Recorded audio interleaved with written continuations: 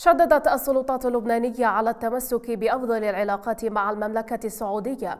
وأعلن رئيس الجمهورية ميشيل عون أنه طلب من الأجهزة الأمنية التشدد في مكافحة عمليات التهريب ومن يقف وراءها.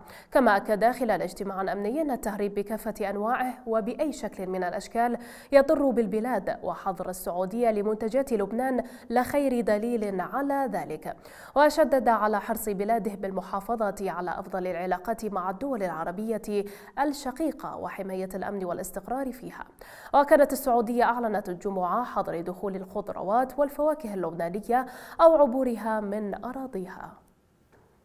الطلب إلى المدعي العام التمييزي استكمال ومتابعة ما يلزم من تحقيقات لكشف كل ما يتصل بعملية تهريب المواد المخدرة في شحنات الخضار والفاكهة التي دخلت إلى الأراضي اللبنانية.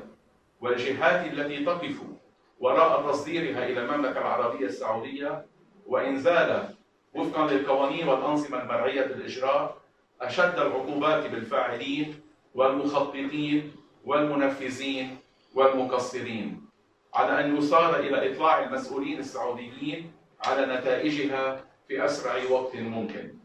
تمنى المجتمعون من المملكة العربية السعودية إعادة النظر في قرار منع دخول المنتجات الزراعية اللبنانية إلى السعودية أو عبور أراضيها وشدد المجتمعون على أن لبنان كان وسيبقى الشقيقة الحريصة على سلامة أشقائه العرب